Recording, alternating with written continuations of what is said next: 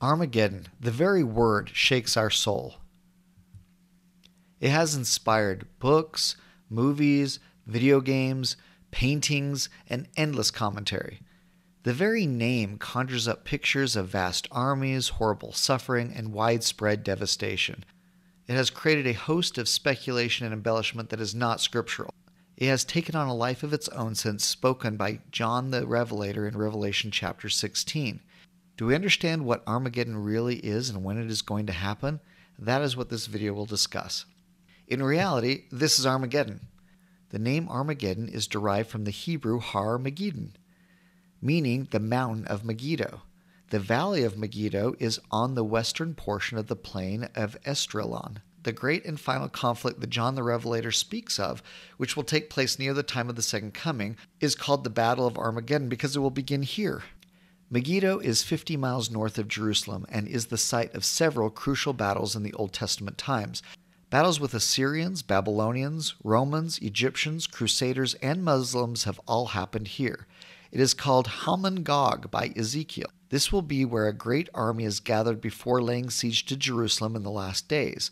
Some erroneously conclude that the final battle of the war will be fought there, but as Elder Bruce R. McConkie points out, the final struggles will center around Jerusalem, though they may extend to Megiddo. Ezekiel prophesies about this war being led by Gog, a leader from the land of Magog, which happens just prior to the second coming. He also refers to Meshech as a principality or area within Magog. Most reference books since Josephus generally identify Meshech in Ezekiel's time as an area in modern Turkey and an area of Magog here in red surrounding the Black Sea. According to the Church's Old Testament student manual, Gog is a symbolic name for the leader or leaders of this great evil power that will arise in the last days. Ezekiel named Persia, Ethiopia, Libya, Gomer, and Togarma as being in alliance with Gog. These destinations refer to general areas of the ancient world. Elder Bruce. McConkie said, The prophecies do not name the modern nation which will be fighting for or against Israel, but the designation Gog and Magog is given to the combination of nations which are seeking to overthrow and destroy the remnant of the Lord's chosen seed. This makes sense because Ezekiel says that they will come upon Jerusalem from the north parts. Ezekiel is very clear that he is talking about the latter days. Ezekiel is describing what Daniel called the abomination that maketh desolate, and says that this will go on for 1,290 days. This is one of the key places where we get the 3.5 year period just prior to Christ's second coming. But remember that Daniel's prophecy is one of multiple fulfillments. I have mentioned multiple fulfillments before, and some people don't like the notion of multiple fulfillments. I think people feel like if there can be multiple fulfillments, then we are trying to map an event to anything we want rather than definitively mapping a prophecy to a fulfillment of that prophecy. But that just simply isn't the way many prophets wrote their works. Daniel and Isaiah, as well as many others, are well known for listing prophecies that were fulfilled during their time, the time of Christ, and will again be fulfilled in the last days. I believe this is one way we can find patterns of what to expect in the last days by looking for what happened before. When it comes to Daniel's prophecy of the abomination of desolation, one fulfillment is what Christ spoke of in Matthew 24 2, where it says, quote, There shall not be left here one stone upon another. This was literally fulfilled in 70 AD when Titus destroyed Jerusalem and an estimated 1.1 million Jews were killed. The Arch of Titus in Rome celebrates the Roman victory, where you can see carved into the arch a rendering of the Romans hauling the spoils from the temple back to Rome. But in Doctrine and Covenants 84, verses 117, the Lord warns of another desolation of abomination that awaits the wicked in the last days.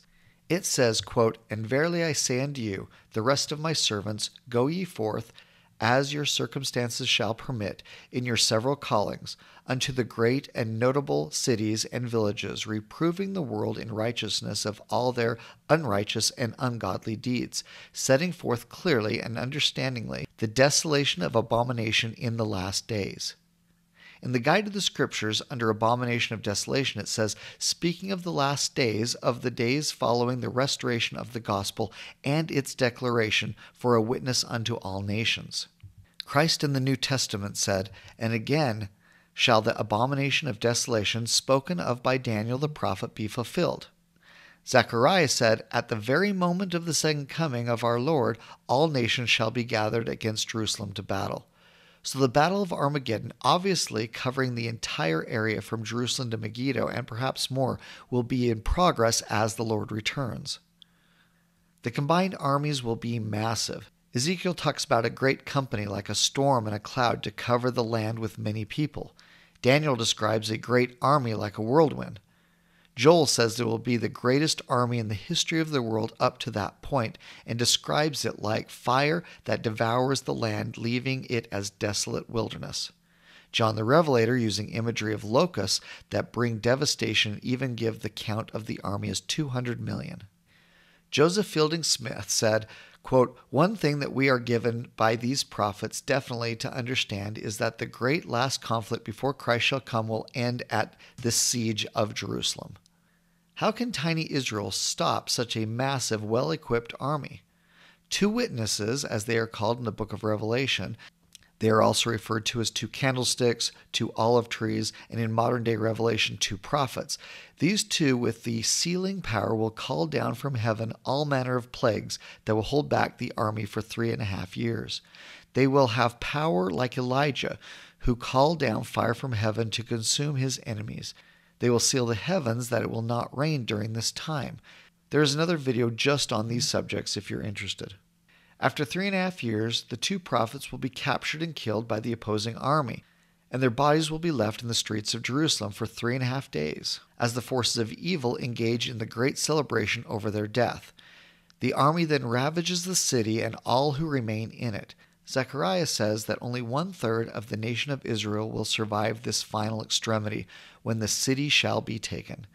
I also have a video on the two witnesses for more information on that, but there are many events that must happen prior to this.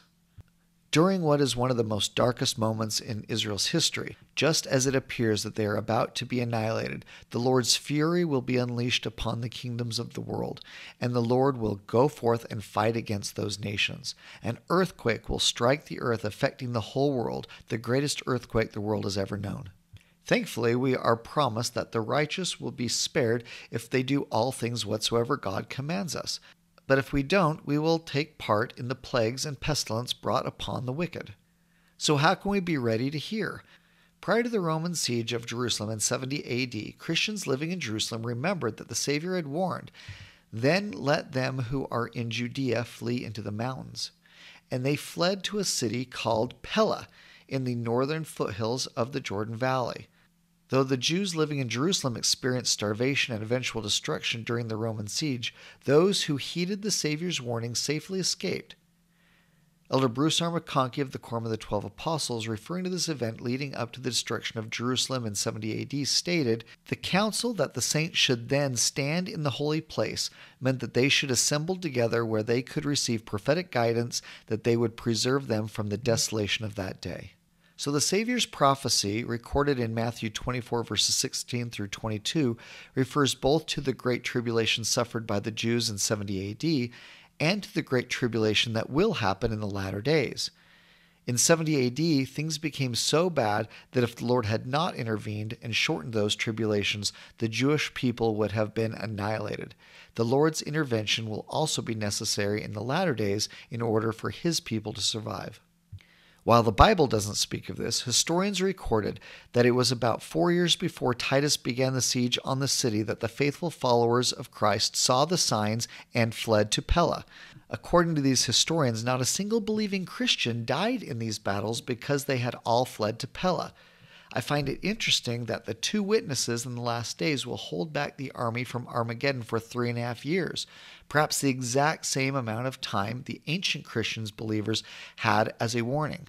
Knowing that Daniel's prophecy has multiple fulfillments, I would venture to guess that we too need to flee to the mountains of Zion once we see the beginning of Armageddon. This three and a half year period is repeated over and over in Scripture.